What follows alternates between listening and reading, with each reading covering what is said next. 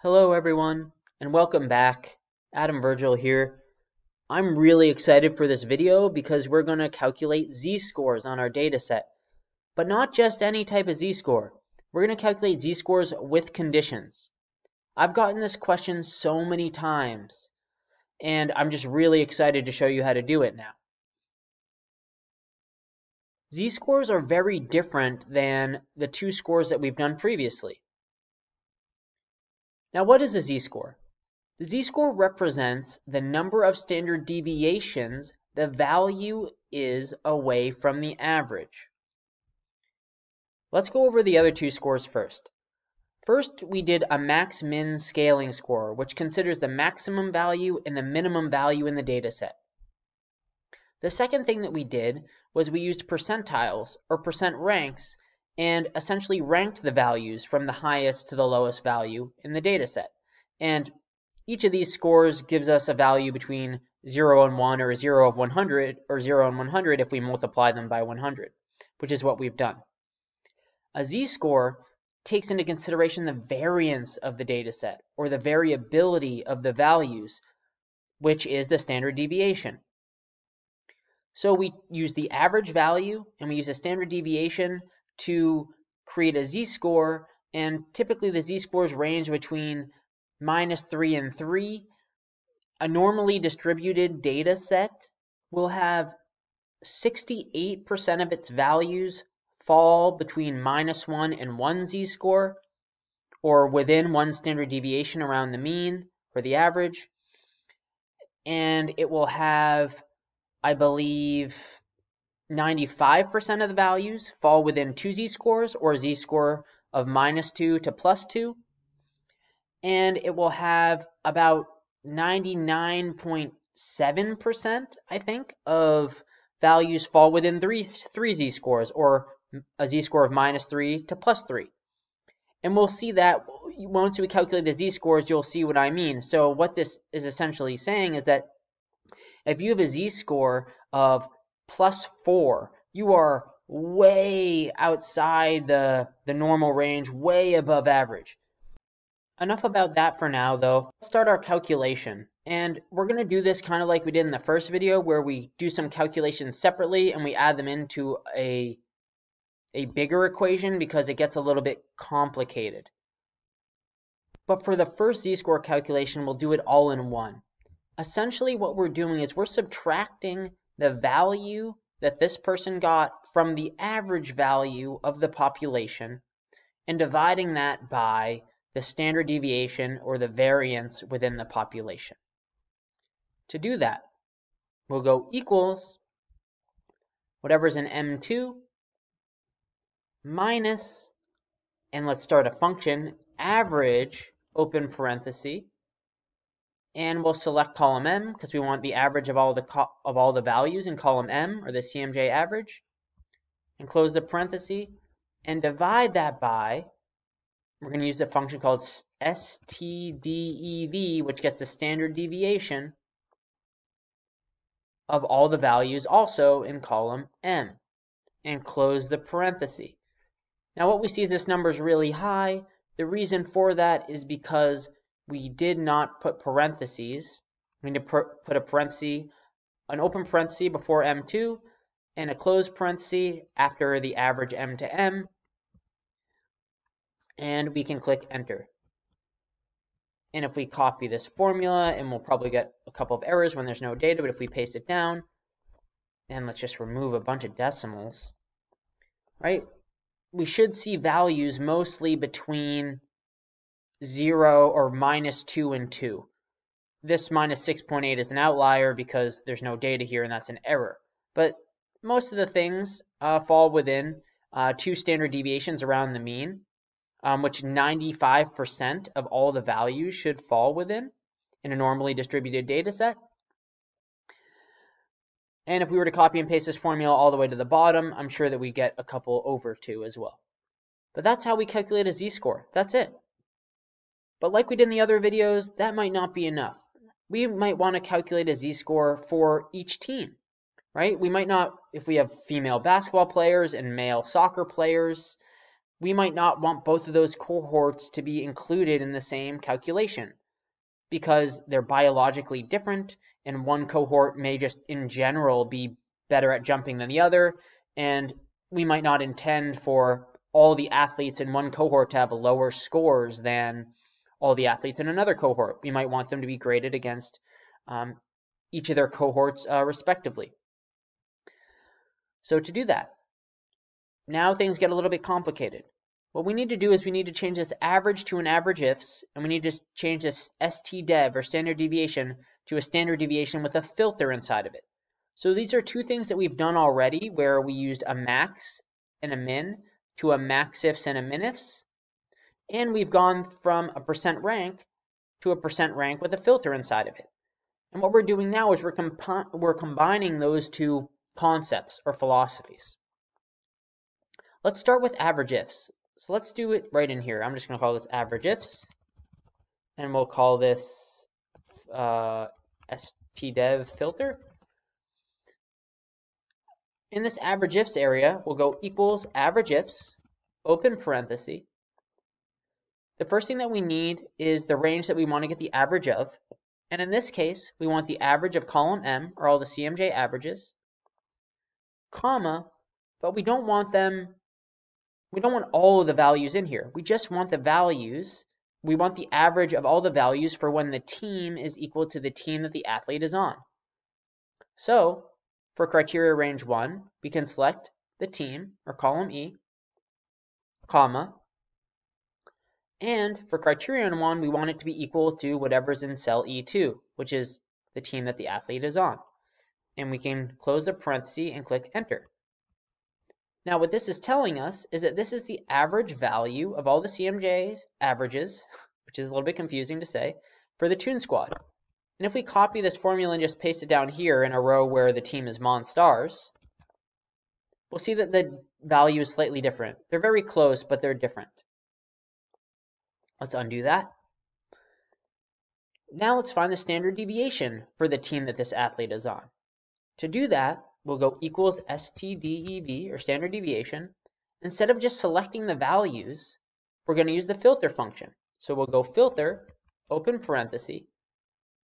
The range of values that we want is going to be in column M, or the CMJ average, but we don't want all of them. We want it with a condition, comma. So we want to get the standard deviation of all these values, but only when the team in column E is equal to the team that this athlete is on. Instead of getting the standard deviation of all the values, we just want to get the standard deviation of the values for when um, this the team is equal to the Toon Squad for at least in this row data. And we'll close the parentheses and click enter.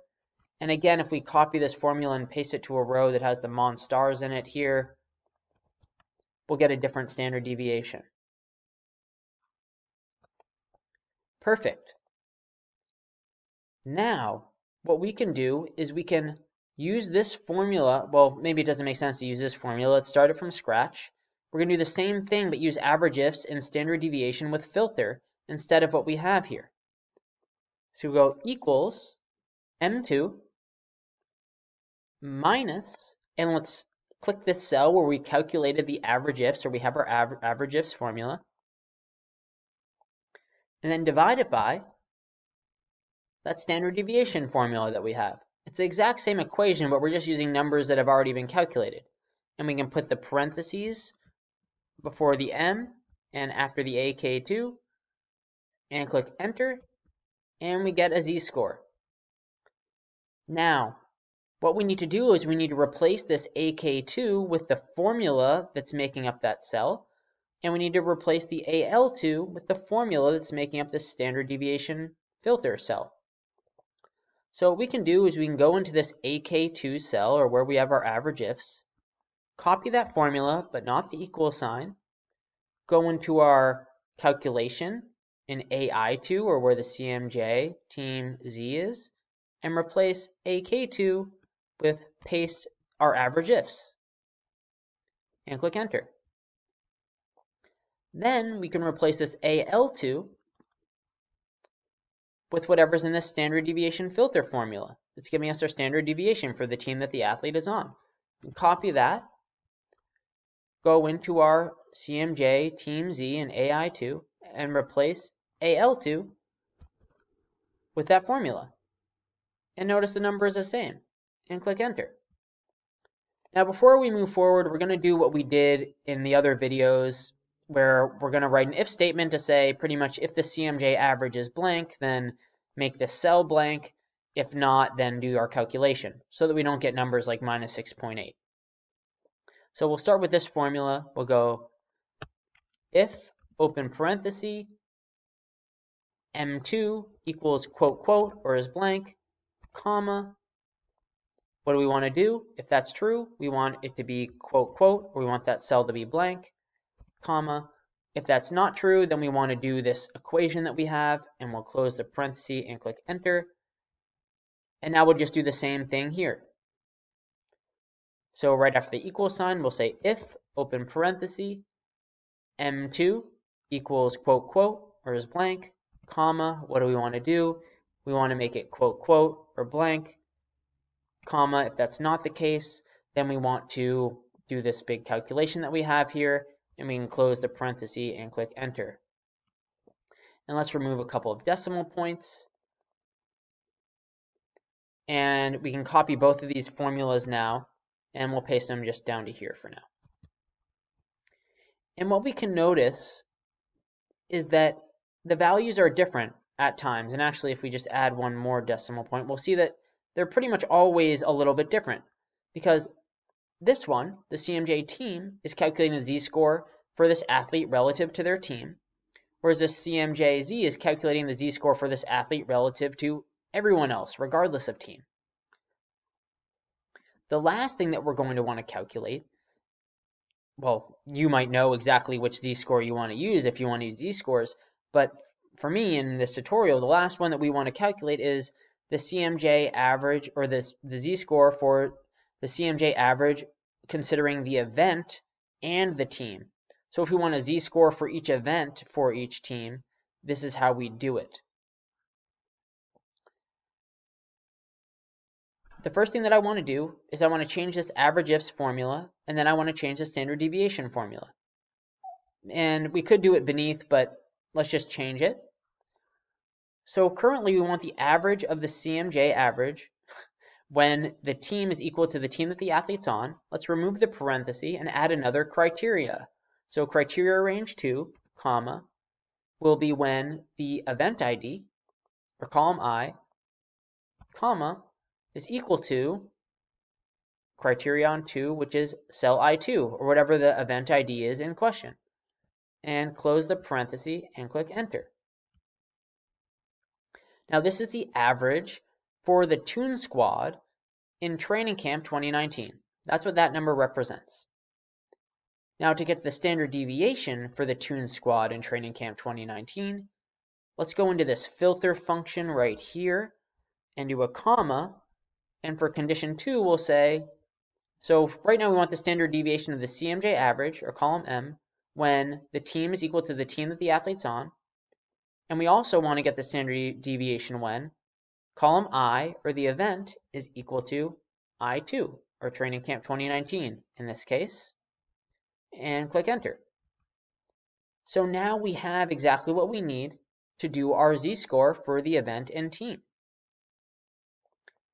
We can copy the formula that we have in AI2 right here. You can copy this whole thing, paste it next door,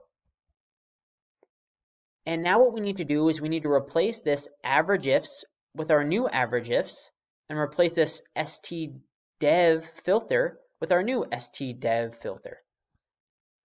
So let's go into AK2 where our average ifs formula is, copy this average ifs formula, go into AJ2 and select our average ifs, our old average ifs formula, and paste the new one and click enter. And then let's go to our stdev filter, an AL2, our new stdev filter function, and copy it.